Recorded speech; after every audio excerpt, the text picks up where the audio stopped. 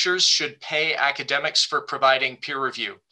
Uh, in our first session, we heard opening statements uh, from Brad Fenwick and Alison Mudditt. And today, and then we had uh, the opportunity to have some discussion with the, uh, with the audience. Um, today, we're going to have uh, six minute responses, first from Dr. James Heathers and second from uh, Dr. Tim Vines. Following the responses, we'll have some more time for Q&A, and then we will take a, a second poll to see which team moved the most votes to their side. Uh, so James, I'll hand it over to you.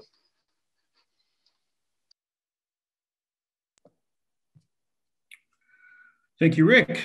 Thank you, everyone at Researcher to Reader. Uh, I understand we had far more questions uh, than we had time to answer yesterday, so it is inherent upon me to be prompt. Forgive me if I speak more quickly than usual. So, when addressing the question, should peer reviewers be compensated financially, there's always a suggestion that comes up, and it's the question of rewarding reviewers with recognition without involving money. Uh, it came up yesterday. Frankly, it's not a bad idea. But if it's a more practical solution because it involves simple recognition but doesn't involve payment, why have the previous attempts to pursue it been so absent? The only variant of this I can think of is a private company called Publons. Uh, but publishers, universities, grant giving organizations, governments, etc., have done nothing or very little it would be trivial to release peer reviews publicly and value them as documents in their own right. Nothing. If we want to be rewarded for a peer review, why not make it a citable document and refer to it? Nothing again. It would be easy to assign identifiers between peer reviews and academic papers. So a paper shot between multiple journals until acceptance isn't reviewed multiple times. Now, there's not no progress on that, just very little. Peer review at EVN is treated the same way as every other common resource before it's regulated, air, water, land, etc. It is treated as infinite and unrewarded because it is allegedly infinite. In other words, there is no downwards pressure on the endless use of academic labor. And the easiest way to exert that pressure is to value the task not with recognition, but with the traditional way to support skilled labor in every other industry, which is money. We spent yesterday at something of cross purposes. To recap for those of you who have joined us today or have had a busy conference in the meantime or are unaccountably hungover on what is apparently a Wednesday, Brad and I have been arguing that we should pay peer reviewers as an essential part of maintaining the structural integrity of the peer review process in the interest of injecting some efficiency within what has become an increasingly burdensome and, on the whole, lower quality enterprise. This will get worse and not better over time. Publication volume doubles every nine years. The academic workforce does not. In fact, in the last year, it's kind of gone the other way. This ever increasing volume cannot be regulated by journals who are either paid by article processing charge or who sell bundled subscriptions to universities which contain an increasing number of titles and volume. Presumably, this is why the costs rise so much faster than the rate of inflation. The point is making peer review better, making it future proof towards the inevitability of what will happen to this market, empowering editors to do their jobs, and rewarding the people who do the work.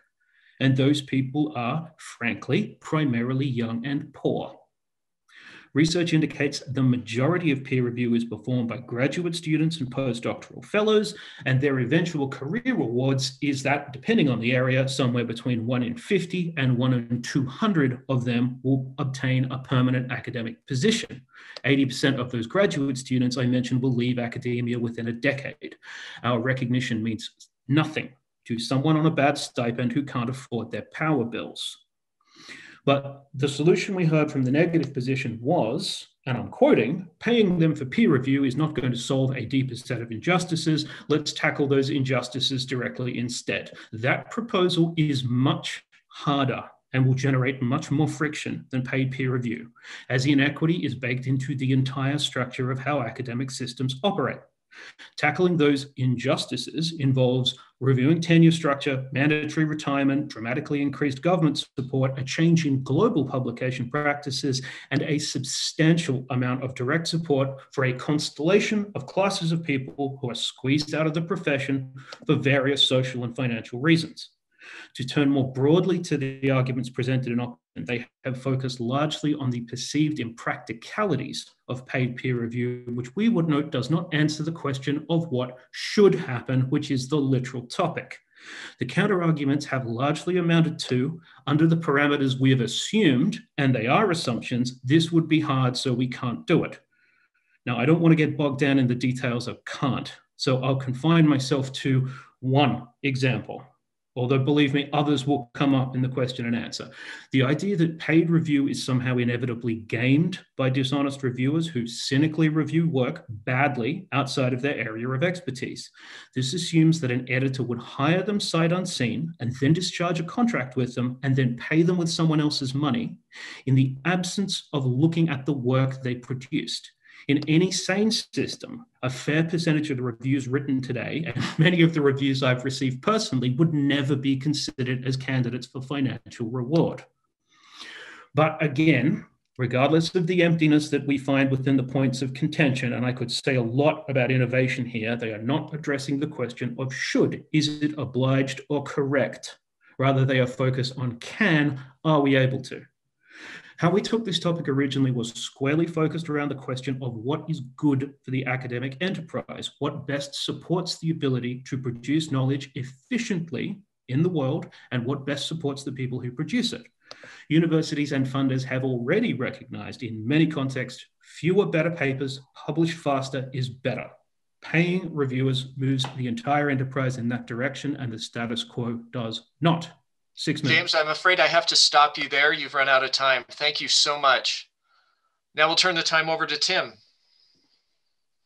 Right, thanks. Um, okay, so just want to echo a couple of James's points. Um, why have there been so few efforts to reward peer review? Um, largely because if you're actually inside a journal watching this process going on, you can see that there are efforts to reward peer review and it goes on all the time good reviewers get elevated to become editors. They become, um, their reputation in the community goes up and up. People say, oh, nobody sees these efforts. That is not true. The editor sees them, and editors are very influential people. And in turn, they can promote these people um, both internally and externally. Um, James also said most peer review is carried out by grad students and postdocs um, without providing any information about that. That I don't believe is true. Um, I believe most peer review is carried out by pre-tenure faculty and um, sometimes by tenured faculty too. But I don't think most, most journals would view grad students as being appropriate reviewers. Okay, um, so I just want to jump to uh, my statement here. There he lay, a vast red gold dragon, fast asleep. Thrumming came from his jaws and nostrils and wisps of smoke, but his fires were low in slumber. Beneath him, under all his limbs and his huge coiled tail, and about him on all sides, stretching away across the unseen floors, lay countless piles of precious things gold, wrought and unwrought, gems and silver, red stained in the ruddy light. That, of course, is an excerpt from The Hobbit, a classic of the fantasy genre. Here's a snippet from a more modern fantasy. Publishers have margins slash excess revenues that allow them to pay reviewers the trade-off between paying reviewers and the quality slash speed of the review would be reflected in the amount paid, even if this would cause a very minor increase in widely shared subscription pricing or an increase in article processing charge or other fees paid by authors. So although both excerpts do involve imaginary piles of gold, there's really not much comparison. I want to be generous and assume that my esteemed colleagues arguing in favor of the motion were unable to find a pen and an envelope to rough out what paying reviewers would actually add to the cost of uh, publishing an article. I've therefore taken this task on myself. As Dr. Heather recommends, we're going to pay our reviewers $450 per review.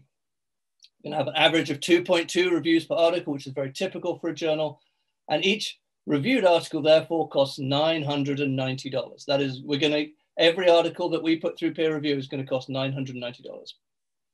Of course, an APC, article processing charge, is only paid by the articles that get accepted for publication. And the cost of reviewing the rejected ones is loaded into the APC. For a journal with a 25% acceptance rate, they have to review four articles in order to find one that they accept. Multiplying 990 by four gives us $3,960. This is the raw amount that we would need to add to an APC to pay each reviewer $450 for their review. Think about that for a moment. This is the very minor increase our esteemed colleagues are suggesting, an additional $4,000 per accepted article in a traditional journal. And that's ignoring the cost of administering the peer reviewer fees and ignoring the fact that $450 is probably on the low side for an expert reviewer. And when they are able to negotiate the price themselves, that will probably go up. Our colleagues arguing in favor didn't present this calculation, and it seems very likely they haven't even attempted it. And how else could you dismiss $4,000 as being a very minor increase? And that's just one paper. Just look, imagine what this would look like across an entire industry. As we heard from my colleagues yesterday, the additional cost from PLOS would be up $40 million per year, more than doubling their total annual expenditures. That is phenomenal amount of money. And that's just one moderate sized publisher. This proposal would have had hundreds, if not millions of dollars to the cost of communicating research each year. And surely, surely that money be better spent on the research itself and on solving our most pressing global challenges. And I can't end without briefly touching on the nightmarish administrative burden and expense that this proposal would add to. Contracts prepared, negotiated, and executed for every single review. Millions of dollars right there. But let's let's just say we're able to jump that particular hurdle. How on earth would these contracts be enforced? Who wades into the mind of minefield deciding what is and what isn't a quality review? Does anyone who has worked with reviewers think that a simple contract is going to make them deliver on time? What kind of punitive measures do our opponents have in mind to make this happen? Our opponents yesterday asked us to focus on the goals of increasing both the speed and the quality of the peer review process, but it seems either naive or disingenuous not to acknowledge the scale of the challenge and the additional expenses inherent in the proposal. They seem content to stick to vague, hopeful statements about the virtues of paying reviewers without putting much thought into how it would work in practice. And that, audience, is all you need to know about their argument. Thanks very much, Tim. You came in just under the wire. Well done. All right, so now uh, we're going to start uh, entertaining some questions from the audience, some of which have already come in. So the first one uh, comes from Phil Jones, who says, I don't know about how I don't know how prevalent it is, but it is common in my experience for faculty to ask their students and postdocs to actually do the reviews, but then the PI submits it. Uh, so really more of a statement than a question. Any any comments or responses to that? Yes, it's called academic ghostwriting, and it's very common. If you want to read a good article, there's one from 2017 by uh, McDowell, I believe. Um, if you want to find out exactly how the split of this breaks down, there's also information on Peerage of Science which indicate the figures that I presented initially. It's increasingly common and it is something of a, a statement of honesty, in my opinion, when professors hand that task off to people they work with who are junior to them and then ask the journal to reassign the review so they're given appropriate credit. Especially within the life sciences, this does not happen very much.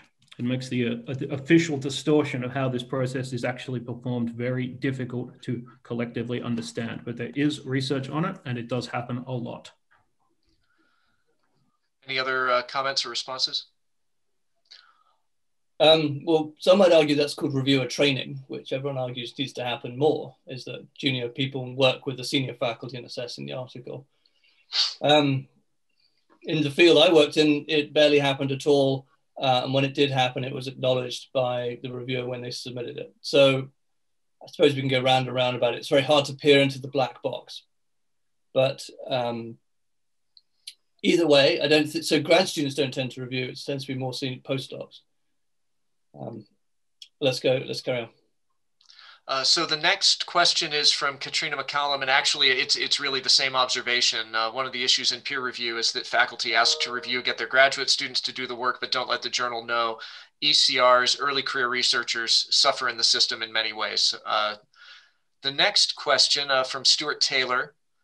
Um, this is directed at Tim, and, and I saw that this question came in, Tim, while you were talking about the um, significant costs that uh, peer review payment would impose on the system.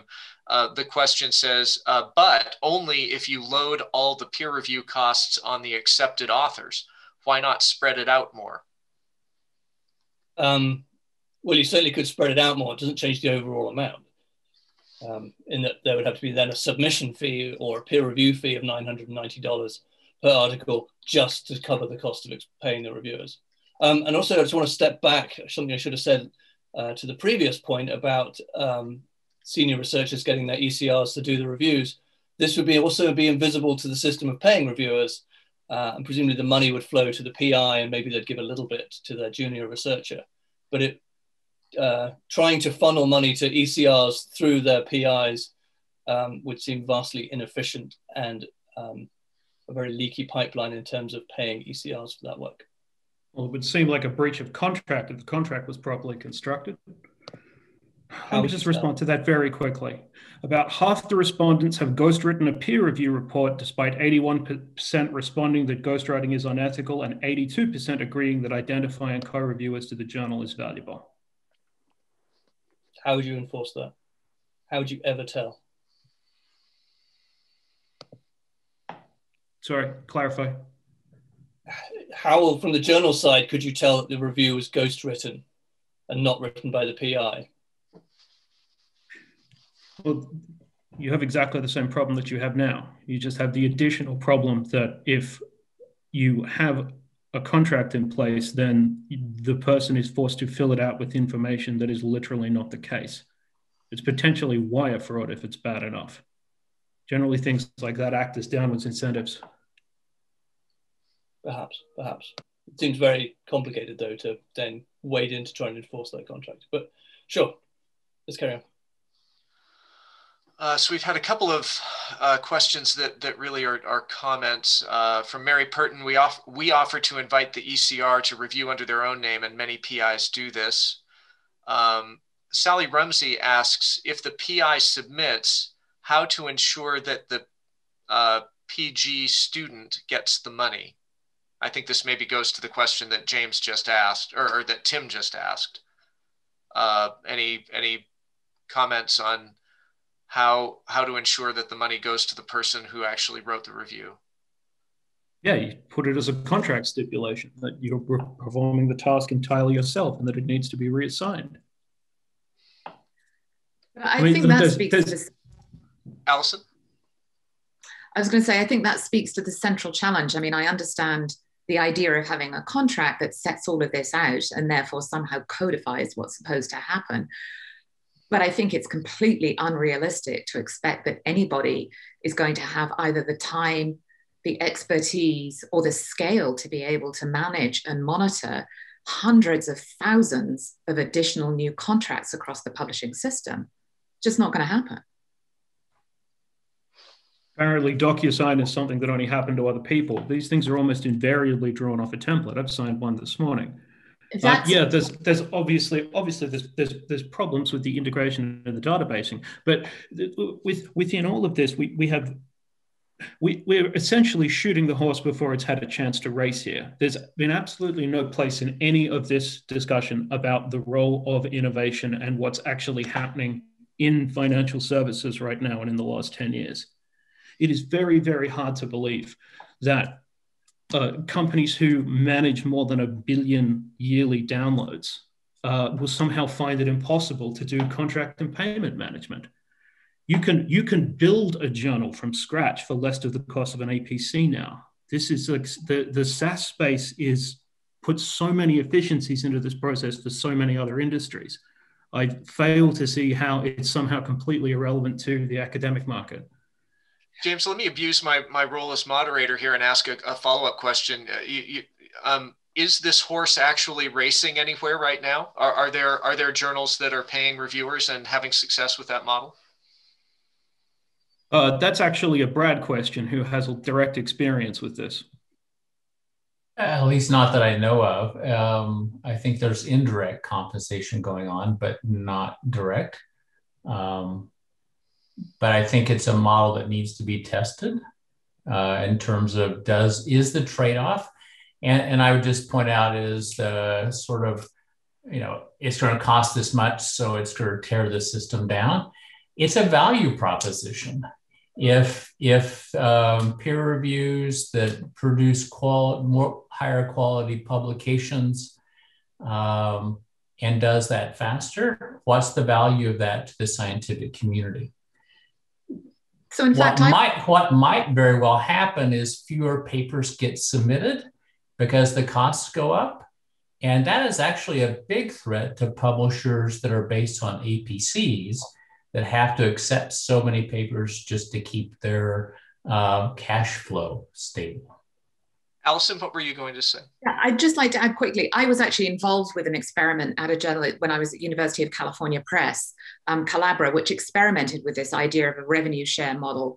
Um, it's just been discontinued because it had it had um, it just didn't cover its cost. It was getting so little interest um, from researchers.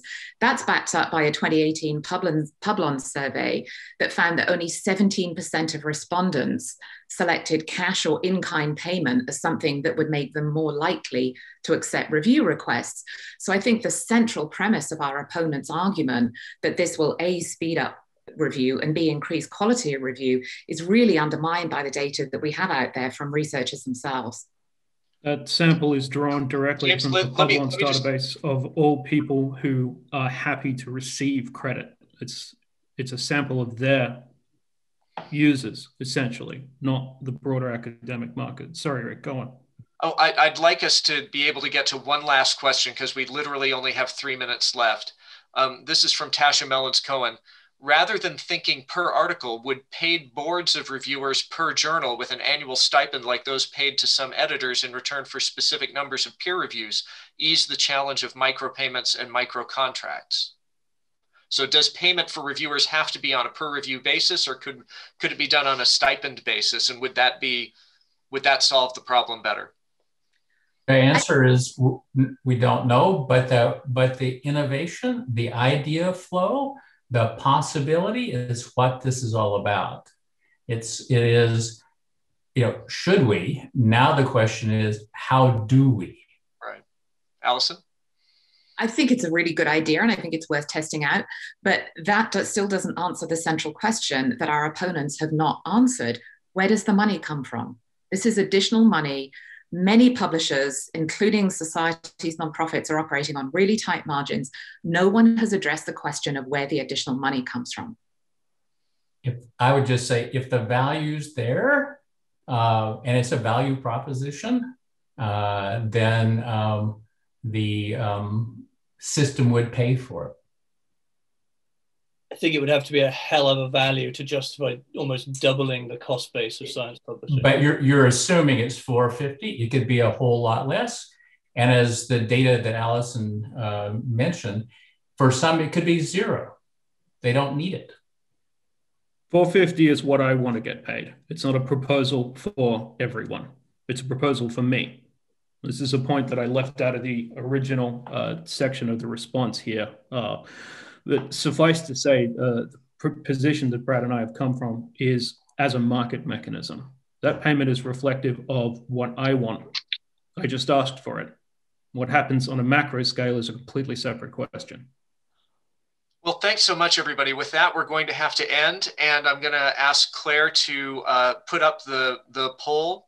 As a reminder, while she's doing that, um, in the the initial vote, uh, out of 64 votes, was 41% or 26 votes in favor of the proposition and 59% against.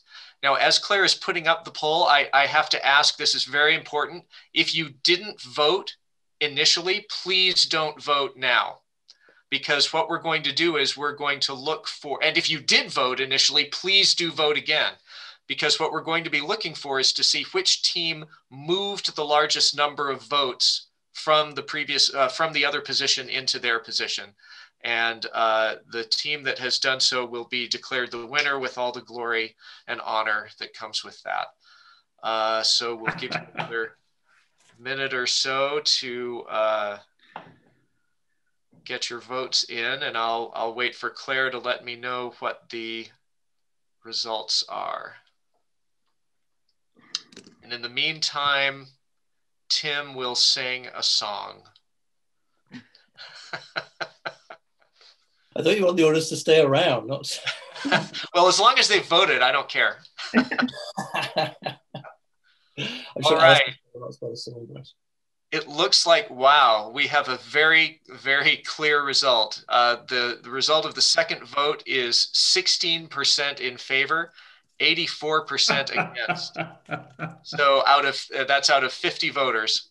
So a, a sizable number of our audience uh, was was convinced that uh, journal publishers should not pay academics for providing peer review. Everyone, I, I want to thank uh, our, our attendees, everyone who's participated and provided wonderful questions, but especially I want to thank Alison, James, Tim, and Brad uh, for the outstanding contribution they've made uh, to the program. Uh, thank you so much for your cogent and compelling arguments. And uh, with that, um, we will be uh, moving next to the panel on the C19 Rapid Review Project, um, which is going to be ready to start in just a minute or two. Uh, in the meantime, please take a moment to rate and comment on this session using the participant survey. Um, and then when you're ready to join the Rapid Review Project session, just go to the timeline and select that agenda item. Thanks again, everyone. It's been a pleasure.